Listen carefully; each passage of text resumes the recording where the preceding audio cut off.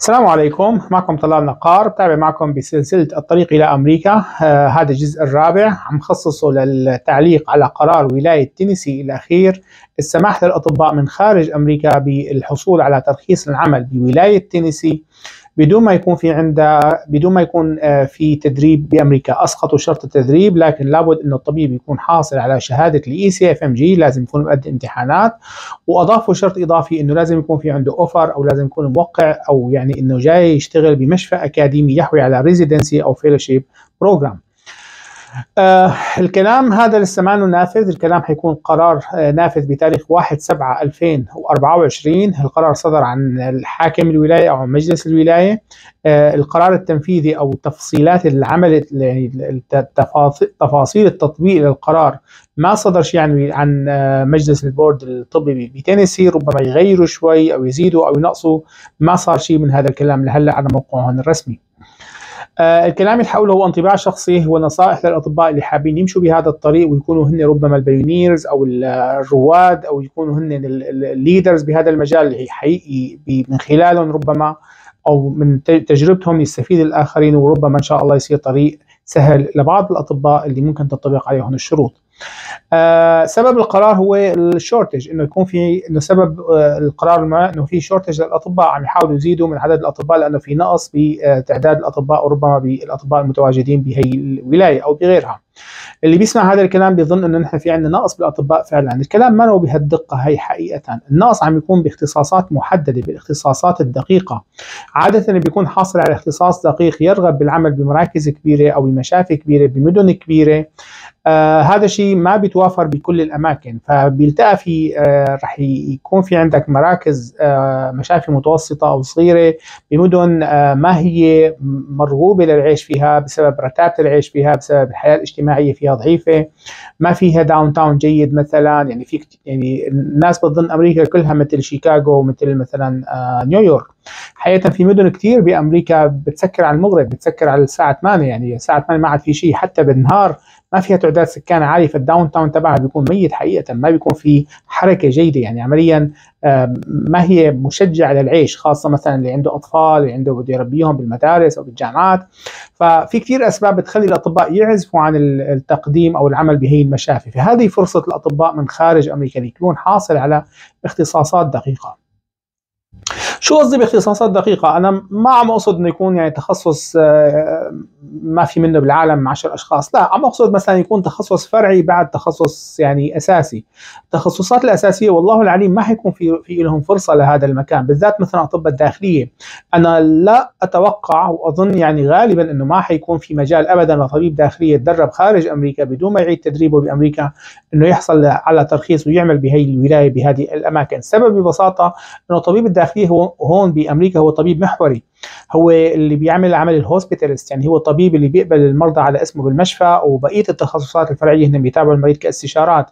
فإذا الطبيب ما متدرب بأمريكا وما بيعرف ال system ما بيعرف كيف يطلب استشارات والله العليم حيكون عبء على المشفى أكثر ما يكون هو طريق آه، يعني هو حل بدل ما يكون مساعد للمشفى بحل مشاكل نقص الأطباء.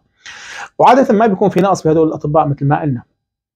فمثلا تخصص الأشعة غالبا ما حيكون في نقص بس حيكون في نقص بتخصص الأشعة التداخلية ال intervention radiologist آه السبب مثل ما حكيت بالبداية إنه اللي حيكون حاصل على هذا التخصص ما راح يكون عنده رغبة بالعمل بهي المشافي الصغيرة أو المشافي المتوسطة.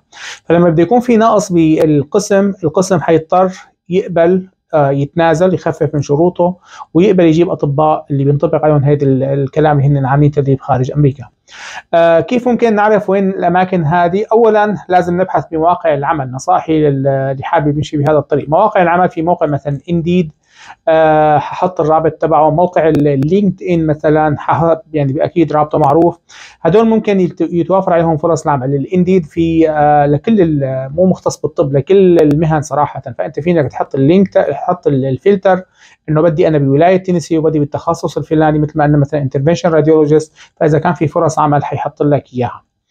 آه في طريقة ثانية إني أعرف وين المشافي اللي بتحوي على برامج تدريب المشافي اللي فيها residency آه أو fellowship في موقع ال AMA ال American Medical Association موقع FREIDA حط الرابط تبعه. هذا الموقع بيحوي آه كل البروجرامات الموجودة بأمريكا.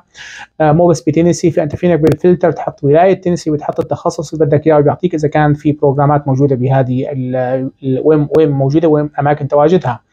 آه ال ال هذا الكلام راح يحط لك بكل program يحط لك ايميلين ايميل السكرتيرة سكرتيرة ال program وايميل ال program director عادة ايميل ال program director ما حيكون مفيد هون جد لأنه آه ال program director ما هو رئيس القسم عادة هو طبيب ثاني فحجم الإيميلات اللي بتوصل له كثير كبيره لدرجة أنا يعني أشك إنه إنه يقدر يتعامل مع إيميلات التوظيف مثلا.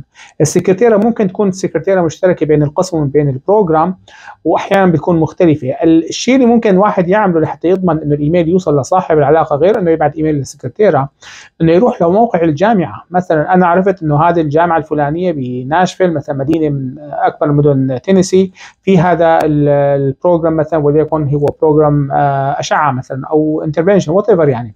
فإنه في في residency بمعنى آخر هذا المشفى. فأنا بدخل على موقع الجامعة وبدخل على موقع المشفى نفسه وبشوف مين ال staff أو ال faculty وشوف مين مين هو رئيس القسم ومين هو كذا ومين هو كذا.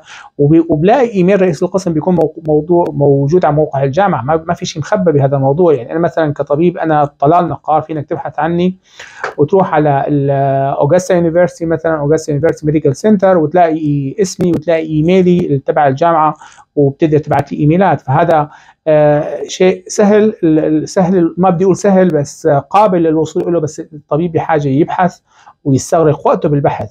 ففي شيء اسمه ال homework إني أنا لازم أقوم بالوظيفة تبعي. فهذا أحد الشغلات اللي ممكن أعملها إني أنا أعرف مين هو صاحب العلاقة بهذا القسم وأبدأ أبعث له سي في تي وأبعث ال face letter اني احكي له عن ظرفي وإني أنا حابب أشتغل عندكم هلأ رئيس القسم عادة اللي هو بده أطباء وعاجز إنه يأمن أطباء عادة بيكونوا ما بيعرفوا بهي القوانين الجديدة الطالعة ولا هن عندهم خبرة بالتعامل معها فأنت كطبيب حابب تشتغل لازم تسهل المهمة على هذا الطبيب وإنك تعطيه الخلاصة.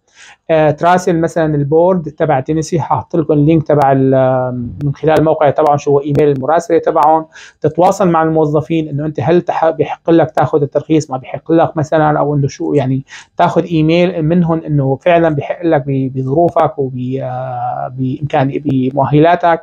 فبتورجيها لرئيس القسم وبتشوفيه إنه أنت قابل تحصل على ترخيص العمل بهي الولاية وإنه هو ممكن ياخذك مثلا ل يعني وهلا هالأساس هو بيقدر هو الطبيب هو مره مرة ثانية رئيس القسم هون ما بتفرق مع وين دربت أنت بده هو طبيب مؤهل عنده تدريب عامل تدريب. هو طبعا بيكون يئس يحصل أطباء من أمريكا. آه ما بده. ما ما بيحب ياخذ شيء يوجع راسه. فإذا أنت اثبتت له إنه فعلا حتقدر تحصل على الترخيص ربما هذا شيء سهل وربما يقنعه إنه يمشي معك. المفروض تبدأ البحث من من هلأ. الكلام عم نحكي لبعد سنة الترخيص القرار حيكون نافذ.